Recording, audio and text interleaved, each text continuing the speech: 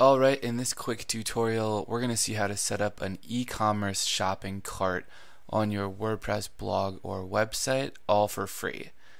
And I say quick because if you just set up a blog or a website and you're in e-commerce, you probably want to start selling and getting your products online quickly. Let's take a look at the shop we'll learn how to make using the recommended plugins and themes. And by the way, these other pages will come along with what we make in this video.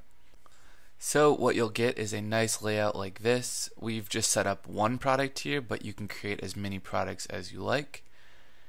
Your users can interact with the products right through this page, or they can click through.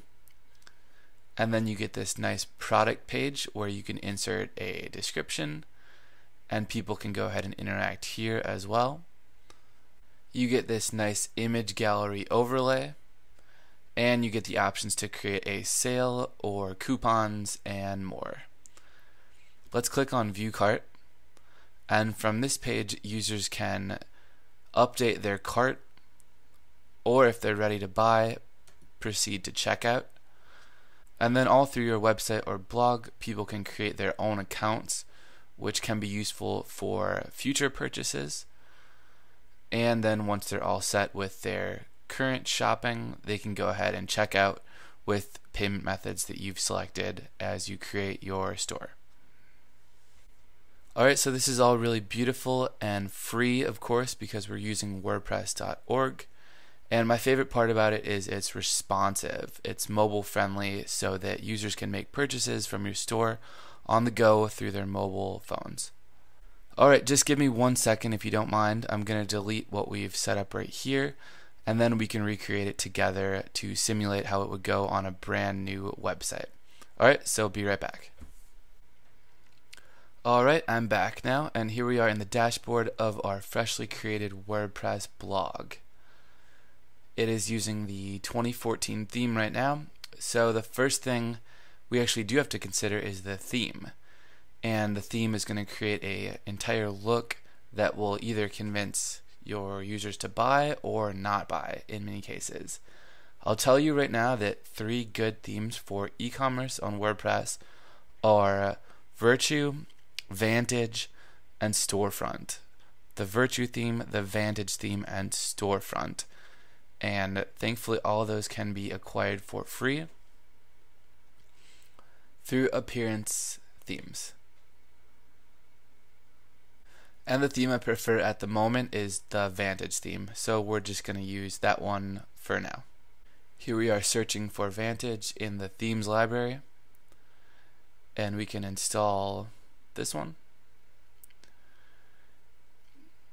And I just know that Vantage, Virtue, and Storefront are good for the e-commerce because I've used them before, and they have certain um, designs that go well with the e-commerce shopping cart we're going to make. So if you want another theme, then I'd recommend just Googling best e-commerce WordPress themes or something along those lines.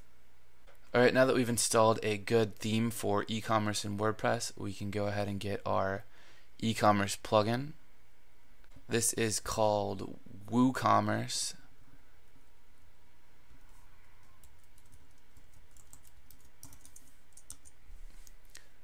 WooCommerce and go ahead and install the one that says WooCommerce Excelling E-commerce.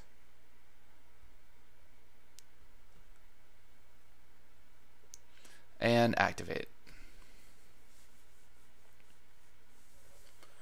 Alright, we now have our free e-commerce plugin and we're almost ready to start creating products. But first it's smart to install WooCommerce pages. So we'll do that and we're all set with WooCommerce.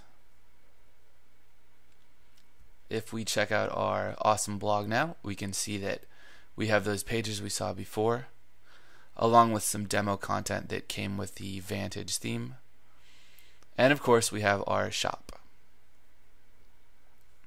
So just for the heck of it, and because we have a little more time, let's create a product. Go to New in the upper navigation, Product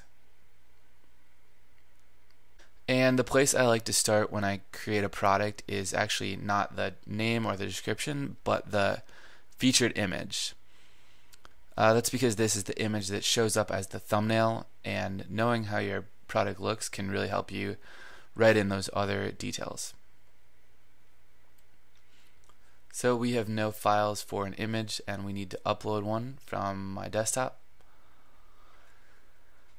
And we can browse around and find the um, five donuts, which we saw before. Alright, so let's set that as our featured image, which will show up as the thumbnail. And then just create a title in the title line like you normally would for a post or a page come on down and select your price. Alright, and we can create a sale price. So inserting a sale price will automatically set this item on sale. I'll make a longer tutorial where we explore these other settings, but that should do it for now. Let me know in the comments below if you have any questions. Let's give our product a category.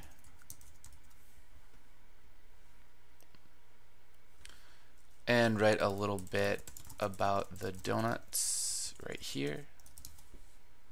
No big deal. And then publish.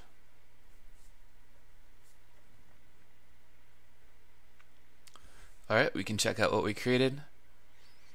And here we have a product just like we saw at the beginning of the tutorial.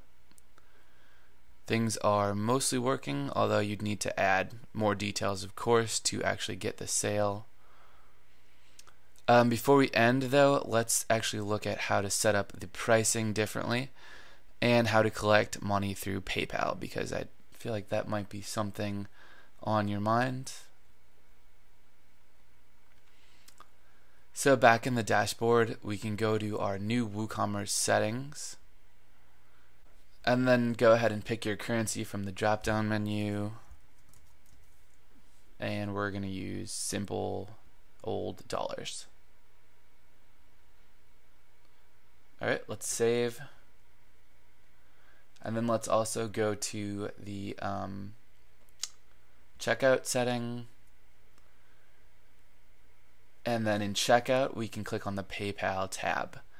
You might notice that the settings get pretty deeply nested within your uh, new settings area. So this will take a little bit of time uh, to figure everything out. But again, let me know if you have any questions you can insert your PayPal email right here and of course make sure to get that right. So just go ahead with whatever it is you use to collect payments and then again save changes and after you do that you'll be all set with a functional shop where you can actually collect real money from real products that you sell via PayPal. Alright, so that's all pretty exciting. We now know how to add an e-commerce shopping cart functionality to WordPress. Thanks a lot for watching and let me know in the comments if you have any questions that were left unanswered. Thanks again.